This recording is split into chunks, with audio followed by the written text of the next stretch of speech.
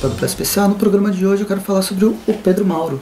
Acabou de chegar a edição Cowboy. Eu estou mostrando aqui a contracapa, né, uma luva que foi, que foi é, entregue junto com, essa, com o projeto, que finalizou no Catarse e foi lá para outubro mais ou menos. Aqui está o livro, uh, o volume, muito legal, em capa dura, duzentas e poucas páginas. E é uma história, é uma revista que vai trazer as primeiras histórias desenhadas e roteirizadas pelo Pedro Mauro nos anos, nos anos 70, na, no ano de 1970 e 1971, com a temática de faroeste. Basicamente acompanhando um personagem que ele criou, que é o Pancho. São sete aventuras recuperadas do acervo do próprio Pedro Mauro, que foram é, trabalhadas, mas não.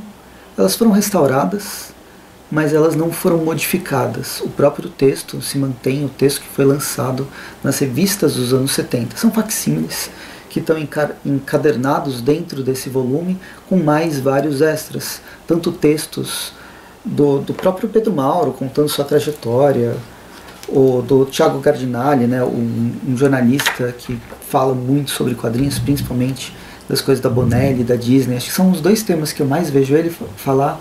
Bonelli, Disney e Fantasma. Mas ele é um, é um cara sensacional, trabalha há bastante tempo com quadrinhos, né? Falando sobre a nona arte. E o Renato Frigo, que é outra pessoa que está envolvida nesse meio e foi o responsável por fazer a, a editoração desse volume de cowboy. O Pedro Mauro ele é um artista que trabalhou nos anos 70, deu uma parada, voltou nos anos de 2010. Nesse meio tempo trabalhou principalmente com a área de propaganda e marketing, mas não vou falar sobre ele nesse, nesse vídeo, porque eu já falei sobre ele. Na verdade, eu conversei com ele antes, na, na época do lançamento, né, da, na pré-venda do, do projeto do Catarse, e lá a gente conversou sobre as influências, como ele começou, o que, que ele curte. Então assistam lá a entrevista que foi super bacana. Aqui eu quero falar sobre Cowboy. Nessa edição, como eu disse, são sete, são sete revistas que vai trazer esse primeiro traço, a primeira investida do autor nos quadrinhos. E é muito interessante como, mesmo nos anos 70, ainda um autor extremamente cru, iniciando sua carreira, ele já tem uma narrativa gráfica interessante, diferente do que era visto normalmente na época, muito pautada pelo cinema, pelas influências do cinema, não só por causa do western, que influenciou ele desde a infância, mas por causa, né, tematicamente, mas por causa da narrativa gráfica, da forma do que os enquadramentos são encadeados e os tamanhos, a brincadeira de diferença de tamanhos que vai dar um ritmo diferente para uma história mais, mais quadrada, que, é, que era costume ter nos anos 50, 60, os, os anos 70 que vão começar a quebrar essa, esse, esse formato, principalmente se a gente pensar que é uma história lançada para ser uma revista de banco, uma, uma revista comum, sem grandes pretensões. As histórias em si, o roteiro, ele é bastante, bastante simples. Cada uma delas vai pegar um, uma, uma temática comum aos filmes de western, como Vingança, como Sequestro, ou você tem o Assalto a Banco, e vai trabalhar isso de uma forma um pouco menos padronizada, mas a gente consegue ver vários filmes clássicos dos anos 50, 60 e principalmente de influência do western spaghetti, o western italiano que estava estourando nesse, nessa década dos anos 60 e vai avançar para a década de 70, que trouxe uma releitura do cowboy, uma releitura do Velho Oeste clássico, tratado como o bom e o mal, os heróis né, brancos e acima de qualquer suspeita que tinha seus inimigos bem definidos, que eram os índios, que eram os mexicanos, que era qualquer coisa que fugia daquele padrão hollywoodiano dos anos 50, preconceituoso, bastante preconceituoso. O Western Spaghetti ele vai trazer a sujeira, ele vai trazer o, o cinza tanto para os heróis quanto para os vilões. Nem todo o vilão ele é construído, ele não é mal porque ele é mal. O herói ele também é uma construção do seu meio e ele usa de subterfúgios que não necessariamente são aqueles mais honrados, entre aspas. Então a gente tem um herói complexo num texto bastante simples. A gente tem um cenário complexo num texto simples de poucas páginas que tinha que ser desenvolvido de uma forma até rápida, porque tinha que ser publicado mês a mês ou a cada dois meses. Foi bem interessante essa leitura porque eu pude ver o Pedro Mauro ainda cru, né, na sua essência, porém já com uma narrativa, com uma forma de construção à frente das, das coisas mais básicas, do beabá, do, do arroz com feijão que a gente encontrava na mesma época. Então ele já tem uma, uma pegada um pouco mais inovadora e de vanguarda pra, em comparação com outros, com outros quadrinhos dessa mesma época. Infelizmente, por causa das crises econômicas dos anos 70, a editora Taika, que foi publicada essas revistas, acabou falindo. O trabalho sobre, em quadrinhos não estava dando tanto, tanto dinheiro, não tinha muito, muito campo para se trabalhar e ele acabou indo pro trabalhar né, com, com fazendo comerciais, fazendo storyboards. E bem, como eu disse, assistam o vídeo, assistam a entrevista que a gente tem lá. E agora só para vocês verem um pouco mais da arte, né, a gente acompanha ao longo dessas sete histórias contos de um justiceiro no Velho Oeste. Um carinha que não está atrás de dinheiro, não está atrás de fama, ele simplesmente ajuda quem ele acha que ele tem que ajudar. Claro que aqui não é difícil para o Pancho escolher qual que é o lado certo, qual que é o lado errado, mas não quer dizer que ele vai agir de uma forma 100% o herói de capa e espada que a gente possa esperar. Mas como eu disse, embora o enredo seja interessante, não é nele que o Pedro Mauro se, se destaca, mas na, na arte que ele, que ele apresenta. Ele desde o início ele já vai mostrar esse traço mais clássico, mais pautado no realismo, com sequências cinematográficas que dão extremo dinamismo e que é bem, bem comum para a época, como eu já tinha dito. São os requadros se diferenciando. E dessas sete histórias que foram publicadas aqui dentro, sete mais um. São sete histórias clássicas, mais uma inédita, que foi construída, foi escrita com o Carlos Stefan, que teve junto com ele no, na trilogia do, do Gatilho, eu destaco duas. Essa, junto com o Carlos Stefan, que chama Em Nome do Pai. A arte do Pedro Mauro, já essa que a gente conhece, ela já está bastante avançada, obviamente, tanto no, no sentido da arte, né, na, na forma como ele retrata os personagens, como na narrativa gráfica, utilizando ainda mais os recursos do cinema para guiar o ritmo da história.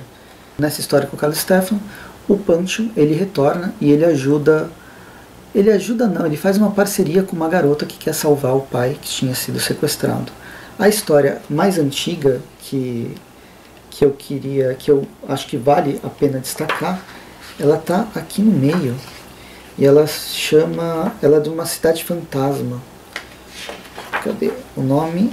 Ela foi publicada na Plantio 3 em junho de 1971 e chama Duelo na Cidade Fantasma.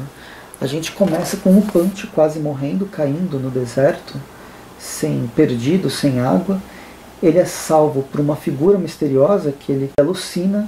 Mais para frente ele descobre que foi uma garota, uma das últimas sobreviventes de uma cidade de mineradores que foi sequestrada, não a garota, a garota também, mas a cidade foi sequestrada por um cara que se colocou como xerife, matou o xerife antigo, se colocou como xerife atual e pôs sobre o jogo toda a população para trabalhar como mineradores de uma mina que ficava no subsolo da cidade. Ela tem uma trama bem interessante de idas e vindas, uma narrativa que vai, vai trazer um pouco do sonho e um pouco da, da realidade, né? uma contrastando com a outra, que no fim vai ser vai, vai se tratar de sobrevivência e essa sobrevivência dependendo de um plano elaborado não só pelo Pancho, mas dependendo da aliança com essa, com essa garota que ele conhece nessa cidade.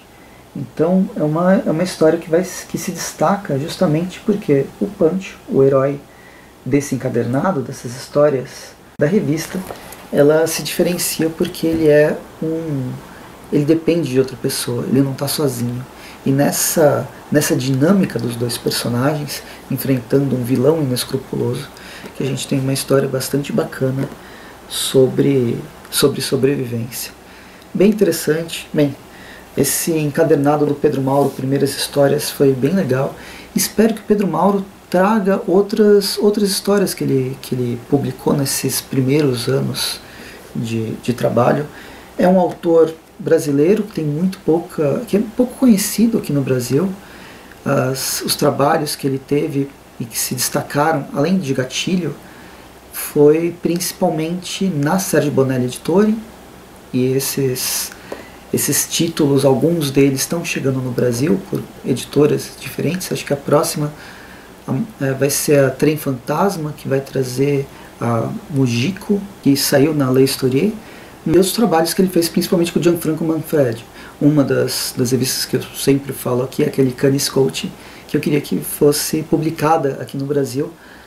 Foi lançada pelo selo Audate, então cada edição tem 60 páginas.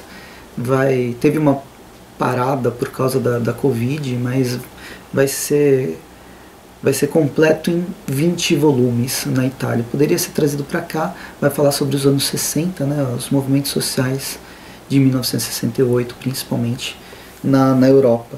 Mas enfim, são vários trabalhos que o Pedro Mauro tem, principalmente com o Gianfranco Manfredi, e que espero que eles sejam publicados aqui no Brasil.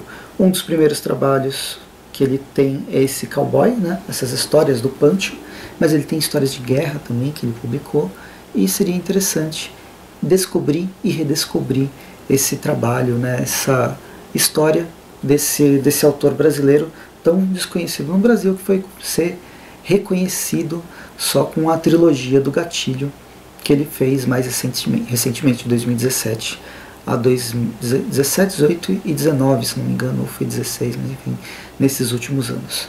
Enfim, é isso. Vou ficando por aqui, espero que tenham gostado do vídeo, curtam o vídeo, assinem o canal, assinem o Chapéu do Preço Facebook, me sigam no Instagram, na Preço Gaudio, e comentem, vocês conhecem Pedro Mauro, não conhecem, leram Cowboy, o que vocês acham dessa história, vocês têm essas, essas edições. Aqui estão as capas em cores, tem uns trabalhos magníficos que eu queria ver ela na mão, né? pessoalmente. Um trabalho de, de arte, de pinturas diferentes. Essas histórias foram publicadas nos anos 70 e eu acredito que seja muito, muito raro. Então, se vocês, algum de vocês leram, comentem aqui, a gente conversa nos comentários, curtam o vídeo assim no canal, acho que eu já falei tudo isso. Esse o projeto do Catarse, ele fez uma tiragem de mil edições, então provavelmente ele vai vender as mil exemplares, né? Ele vai vender as revistas pelo é, pessoalmente. Entre em contato com o Pedro Mauro. Não sei se ele vai estar na Comic Con, que é essa semana, mas provavelmente nos eventos ele deve ele deve levar. Entre em contato com ele para tentar é, conseguir essa, essa revista. Acho que vale bastante a pena. No Catarse, como eu disse, teve alguns extras, como essa sobrecapa, e teve vários, uh, várias artes originais, ou originais não, vários artes em A3 de outros desenhistas. Cada, cada vez que batia a meta você ganhava uma e uh, o projeto foi, teve um sucesso bem grande. Todas essas artes estão no final do livro, então mesmo que vocês não, não consigam, elas estão aqui dois marca-páginas e teve uma máscara também que eu deixei para lavar para poder usar mais para frente. Mas enfim, é isso. Até mais. E embora isso, essas revistas, essa revista não esteja na Amazon, pelo menos por enquanto não está na Amazon, qualquer compra no canal pelo link aqui embaixo ajuda bastante. Então comprem pela Amazon para ajudar o Chapéu do Presto a trazer sempre novidades e quadrinhos um pouco diferentes do, do que a gente tem de mainstream. Mas é isso e até mais. Falou, bons quadrinhos.